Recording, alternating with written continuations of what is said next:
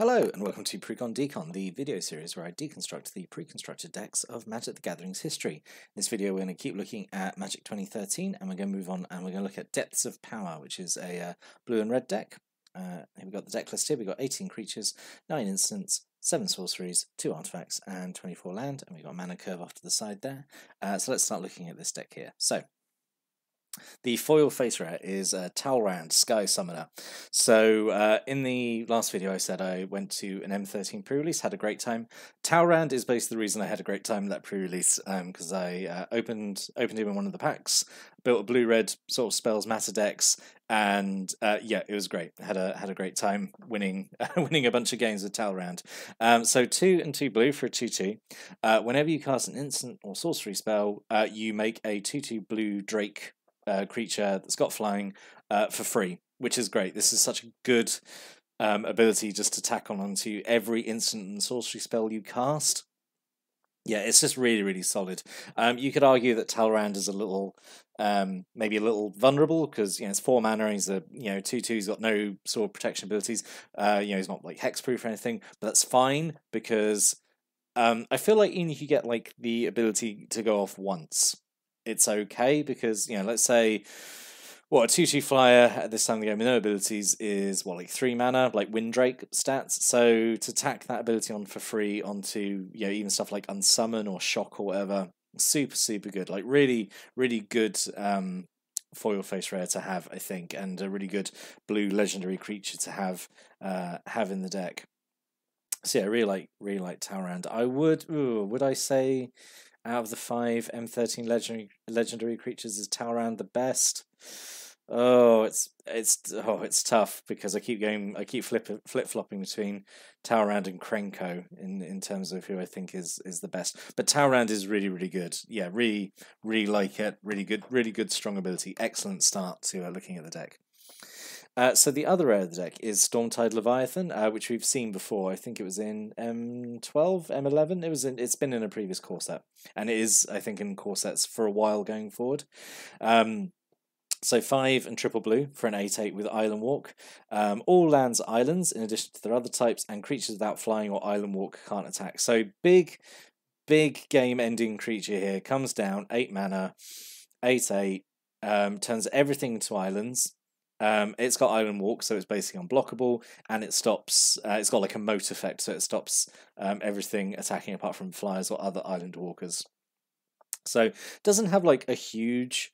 I would say it doesn't have a huge amount of synergy what the deck is doing because it is essentially like a blue red spell deck, but this is like a big threat. Like if the game is dragging on, this comes down and it's gonna, you know, it helps close out the game um, essentially. So yeah, um, I think it's I think it's okay. I do think that maybe there's slightly better choices in the set, but I think this is still like perfectly fine. Uh, then we have two Augur of Bolas, uh, one in the blue for a 1 3. Uh, when Augur of Bolas enters the battlefield, look at the top three cards of your library. You can reveal an instant or sorcery from amongst them, put it into your hand, and the rest go on the bottom in any order. So, yep, you get to dig three, pick an instant or sorcery straight into hand. So, this is a really sort of nice effect. The fact it's like a 1 3 for two as well is actually okay. You know, it's nice and defensive. Um, M13 had like this theme that like Nicol Bolas um, was was in the set. He was the only multicolored card, um, and so in in blue, black, and red there are um, you know cards that relate to him. I think there's an artifact, the Gem of Becoming. I want to say that like reference Bolas. So there's like a minor Bolas theme. It wasn't like a, a you know a deck. It wasn't like a draft archetype or anything. It was just uh, flavor wise, he was just there in the background, um, which is which is really nice. I like Nicol Bolas. He's like a, probably my favorite Magic the Gathering villain, honestly yeah, Augur of Bolas, um, super good. Obviously, doing exactly what the deck wants to do, which is dig up instant and sorceries. Um, on the subject of digging up instant sorceries, we've got Archaeomancer, uh, so two and two blue for a one two, which is a little expensive maybe, but when it enters the battlefield, return instant or sorcery from your graveyard to your hand. So this is kind of like Gravedigger, but for spells, I would say. Um, yeah, the fact you can get instant or sorceries is okay. Um, yeah, I think it's I think it's okay. I would, I mean, in an ideal world, I would like this to be cost this costed almost the same as as normal Gravedigger, like three colors and a blue and a two two. But then that's getting greedy. This is like a perfectly fine ability, um, and it's a perfectly fine card. I'm just being greedy, but it's you know again it works well in this deck. It's doing what it, the deck wants to do, which is get you know spells back, so you cast them, and then you get your triggers from Talrand to get more drakes and kind of close out the game with a bunch of drake tokens in the air. So yeah, uh, we got two Scroll Thieves, uh, two in the blue for a 1 3. Uh, whenever it deals combat damage to a player, draw a card. Uh, yep, this is like nice um, combat uh, combat ability to draw more cards and yet potentially draw more instants, instants and sorceries. Um, obviously, having lower power means like it's you know not too much of a hassle for an opponent to block, but you know it is is still nice to have this ability.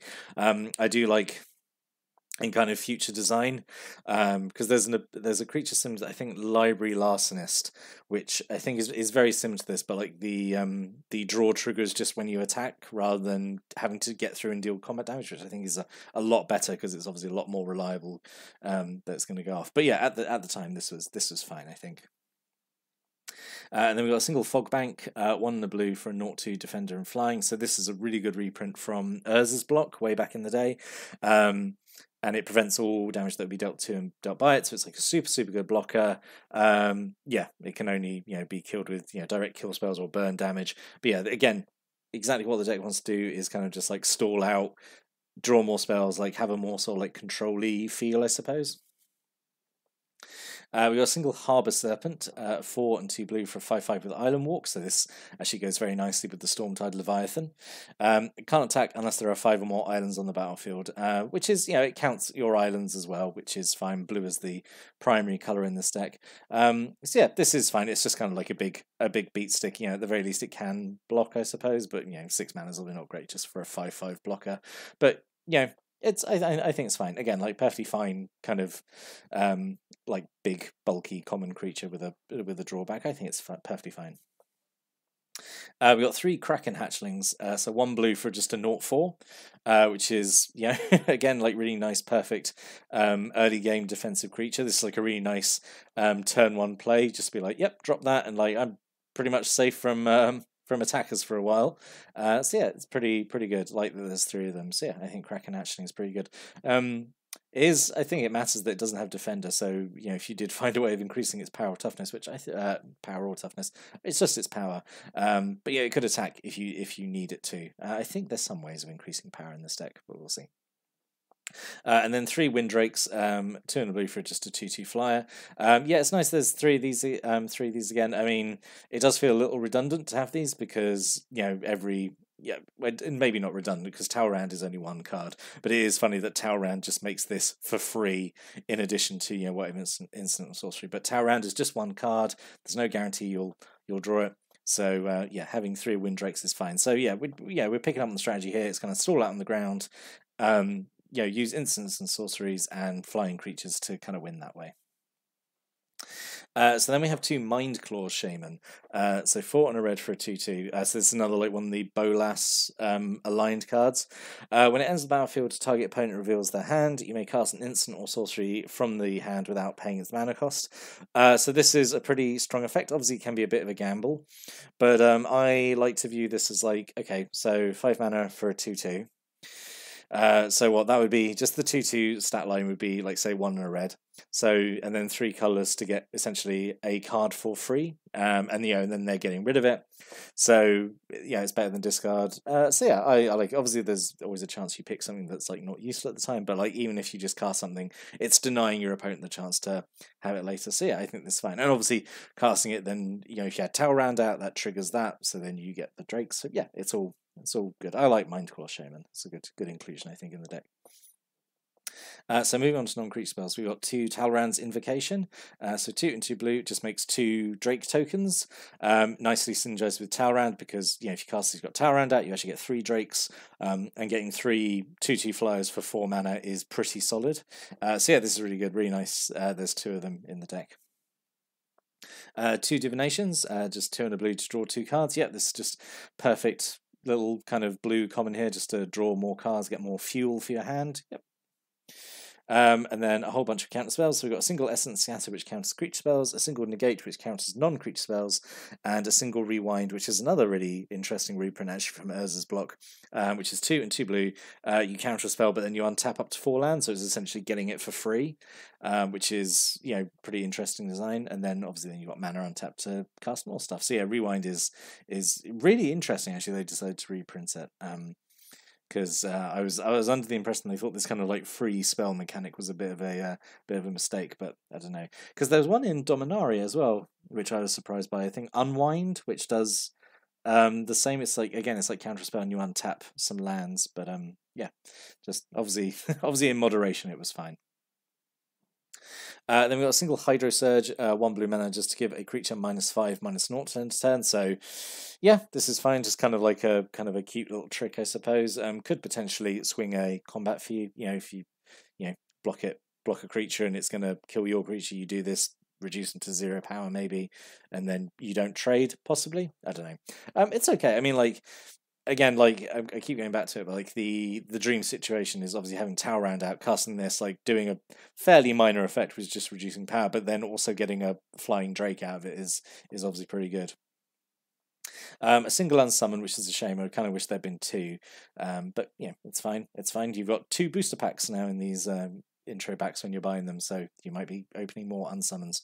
Uh, yeah, single blue mana just to bounce a creature, and then single sleep, uh, two and two blue, tap all creatures a uh, player controls, and they don't untap during that player's next untap step, so just kind of lock all their stuff down for essentially two turns, um, which is again pretty good. Again, just stalls out the board, lets you kind of durdle along with all your um, all your non-creature spells and assemble like a small army of flyers. Um, a single switcheroo, I think this is a really cute little spell here. So four and a blue, um, you just exchange control of two target creatures, which is pretty fun, I think. Um, again, if you've got Talrand out, you're making drakes, you can just swap uh, a Drake token with you know something that your opponent's got. Um, so yeah, I think this is a, a fun little card. You know, just uh, you got you know some other or like Kraken Hatchling or something like that. You can just switch around with your opponent's best creature. I think this is really um, a fun little spell. I'm not sure if it's ever been reprinted, which is a shame because I think it's uh, it's quite a fun fun little card. Um, and then Elixir of Immortality, one of these. Uh, so this goes really nicely, I think, in the deck. So it's one colorless, and then you can pay two and tap it. Uh, you gain five life, and then you shuffle Elixir of Immortality and your graveyard back into um, Owner's Library, um, which is uh, which is really good actually because you know you've got all these um, you know spells that you're going through that you're casting, and then you know you obviously want them all back, so you just shuffle through and then just get them all again, um, gain a bit of life as well, um, so keep yourself in the game. So yeah, I think Elixir Immortality is um pretty solid card honestly. Uh, and then a single Ring of Evos Isle, uh, so two mana equipment, uh, equip for only one. Uh, you spend two, the equipped creature gets hexproof until end of turn, which is really nice that you can. Um, I actually quite like the sign that it's not on all the time because I think it would be way too good if it was just permanent hexproof. Um, I do like you've got to pay to pay to use it. I think that's a nice sort of balancing act. And like all these um, M13 rings, um, it gives a bonus if it's on a creature of a certain color. So at the beginning of your upkeep, um, if the equipped creature is blue, it gets a plus one plus one counter, which is um, pretty cool, I think. I like all these rings. I think they're the blue. That one is probably the best one, just because hexproof is such a strong ability. Um, and then we have a bunch of burn spells. So this is like your other path to victory, I suppose. You've got a bunch of flyers, and now have a bunch of burn as well. So we've got three searing spears. This is like the Pepsi to Lightning Strike's Coke, I would say, because Lightning Strike gets reprinted all the time, and Searing Spear has only been printed once in M13, as far as I know.